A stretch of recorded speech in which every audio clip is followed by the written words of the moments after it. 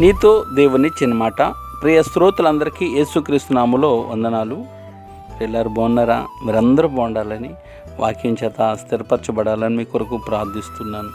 ఈరోజు దేవుని వాక్యము కీర్తన గ్రంథము ఆరవ అధ్యాయము రెండవ వచనం. యెహోవా నేను కృషించి ఉన్నాను నన్ను కరుణింపుము.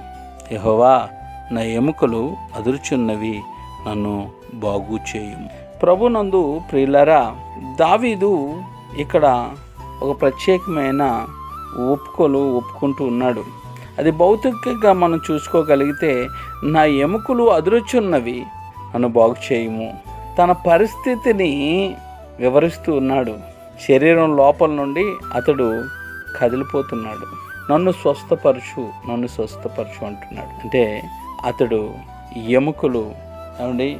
బాధిస్తున్నాయన్నమాట. యాకోబు పత్రికలో కూడా ఈ మాటను మనం చూస్తాం. యాకో పత్రిక ఐదు పద్నాలుగులో మీలో ఎవడైనా రోగై ఉన్నాడా అంటాడు. మనుషులకు వచ్చే అనారోగ్యాలన్నిటికీ పాపమే కారణం కాదు.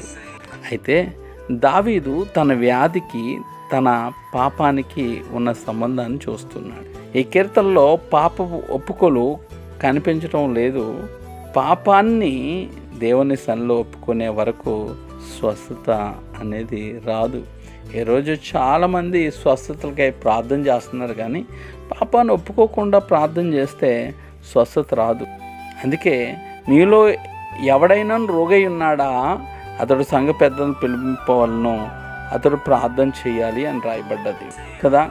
కాబట్టి సాధారణంగా ఒక వ్యక్తికి జబ్బు చేస్తే డాక్టర్ని పిలుస్తాడు.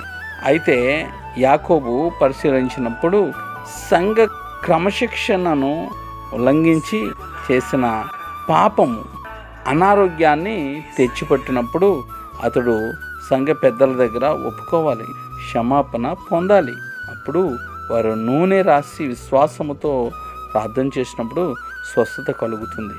మరో విధంగా చెప్పాలంటే పాపం ఒప్పుకోకుండా జబ్బుకు చికిత్స చేస్తే క్యాన్సర్ పుండుకు అండి ఆ క్రీమ్ రాసినట్లుగా ఉంటుందన్నమాట. పరమ వైద్యుడు రోగ కారణానికి చికిత్స చేస్తాడు. దావీదు విషయంలో పాపమే రోగ కారణంగా దావీదు గుర్తించాడు.